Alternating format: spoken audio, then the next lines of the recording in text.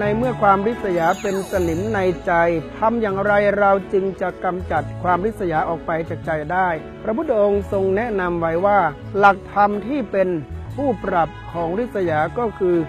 มุทิตา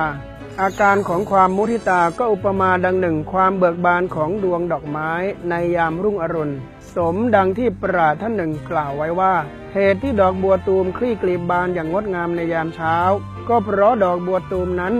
ไม่มีใจอิจฉาริษยาแสงแดดอุ่นจากดวงตะวัน เรื่องดอกบัวตูม ไม่อิจฉาแสงตะวันจึงได้คลี่กลีบบานอย่างสวยงามเป็นฉันใด ใจของคนเราก็เป็นฉะนั้น หากเราเปิดใจรับความสุขความเจริญของคนอื่น ความสุขของเขาก็จะกลายเป็นความสุขในใจเรา นี่คือผลดีของการมีมุทิตาจิต แต่หากเรามุทิตาไม่เป็น